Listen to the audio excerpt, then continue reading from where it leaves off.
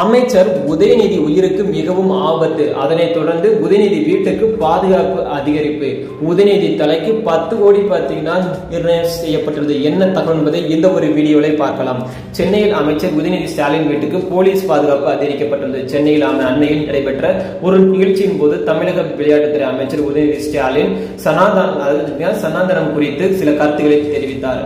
அவரது பேச்சுக்கு பல்வேறு தரப்பிலிருந்து எதிர்ப்பும் ஆதரவும் மாறி மாறி வருகிறது. முக்கியமானதாக பாரதியார் ஜனதா கட்சியும் இந்து அமைப்புகளும் உதயநிதியின் சனதா குறித்தும் சனாதனம் குறித்தும் கருத்து கருத்துக்கு கண்ட கடும் எதிர்ப்பையும் கண்டனத்தையும் தெரிவித்து வருகின்றனர். இதற்கிடையே தான் பார்த்தீங்கன்னா உதயநிதி வீடியும் இருக்கும் பகுதியில் சில அமைப்புகள் போராட்டம் நடத்த வாய்ப்பு இருப்பதாகவும் அவரது உயிருக்கு ஆபத்து இருப்பதாகவும் இத்தகவலின் அடிப்படையில் சென்னை கிழக்கு கடற்கரை சாலையில் நீலாங்கரையில் சன்ரைஸ் அவென்யூவில் அமைந்துள்ள உதயநிதி ஸ்டாலின் வீடு அடையார் கிரீன்வெல் சாலையில் உள்ள அவரது முகாம் அலுவலகம் ஆகிய இரண்டு இடங்களிலும் செவ்வாய்க்கிழமை முதல் போலீஸ் பாதுகாப்பு அதிகரிக்க அதிகரித்துள்ளது.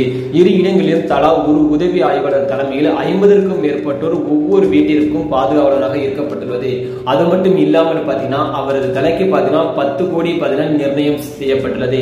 அதாவது உதயநிதி ஸ்டாலின் தலையை சீவுவதற்கு பத்து கோடி பத்து பத்து ரூபாய் சீப்பு போதும் என்று அமைச்சர் உதயநிதியின் அதிரடி பதிலும் பார்த்தீங்கன்னா சமூக வலைதளங்களில் வாக்குவாதமாக போய் கொண்டிருக்கிறது. உதயநிதி ஸ்டாலின் தலையை சீவி கொண்டு வருவர்களுக்கு பத்து கோடி வழங்கப்படும் என்று அயோத்தி சாமியார் கூறியிருந்தார். இந்நிலையில் தூத்துக்குடியில் நேற்று பேசிய அமைச்சர் உதயநிதி ஸ்டாலின் என் தலையை சீவ பத்து கோடி எதற்கு? பத்து ரூபாய் சீப்பு போது என அயோத்தி சாமியாருக்கு பதிலடி கொடுத்துள்ளார். மேலும் நாம் பேசியதில் தவறே இல்லை எனவும் சனாதனத்தை ஒழிக்க வேண்டும் என்பதை தொடர்ந்து சொல்லிக் கொண்டேதான் இருப்பினும் எந்த மதமாக இருந்தாலும் சரி அதில் சமத்துவம் இல்லை எனில் அது ஒழிக்கப்பட வேண்டும் என்றும் அவர் தெரிவித்துள்ளார்.